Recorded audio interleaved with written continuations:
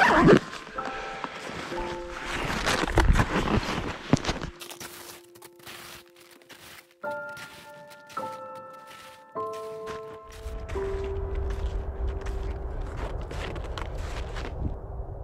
how that turned out.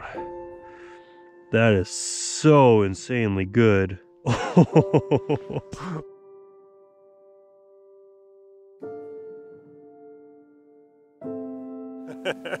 it's about uh, two in the morning in uh, Vancouver Island's backcountry, and I've gone for one heck of a snowshoe here to get some amazing astro shots. I want to take you with me on this absolutely amazing experience I've had and also explain why I love it so much and this was kind of one of the main reasons I got into photography and videography was to capture these moments, to come out when other people aren't around.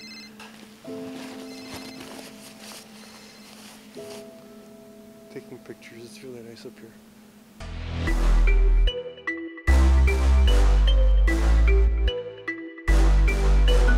So I try and adjust my board. Yeah! Woohoo!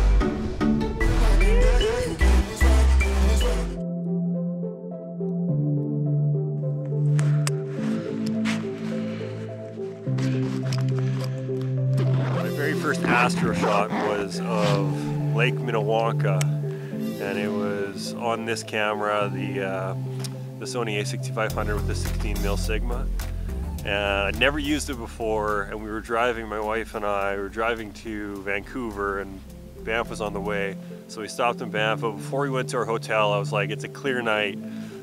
The moon's behind a mountain. Like let's just go up to Lake Minnewanka and see if I can get this shot. And that was like the cool thing.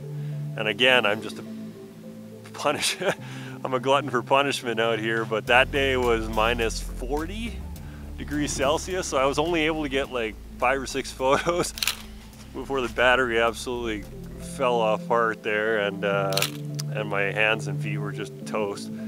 But it was one of those really cool experiences where I was able to capture something I never thought I could ever capture. And, and tonight was one of those nights where I was able to get out and brave the cold a little bit and get some absolutely unbelievable shots that I'm so happy to share um, not just on my Instagram, but for me to always have, for me to have prints of, and I just, I can't say enough good things about it. Yeah, the reason I love like long exposure shots is it forces you to be super patient, to understand your settings and your camera and your lenses. Uh, my buddy Kevin got me into it. I saw some of the photos he was doing and you know, I was just blown away by the way you could capture something and uh, it, it got me into it and some of my favorite moments on vacations were when I took the time to get all the camera gear out, stay up late and start taking photos because once you start taking the photos you just you, you're just wide awake, you're wired, you're absolutely in like this flow state where you're just waiting for that next shot. But I remember I was in Hawaii and I went down to the beach, set up my camera and with all the critters running around and I was just able to get these amazing stunning photos that just over the ocean made you feel like you were truly on the edge of the world.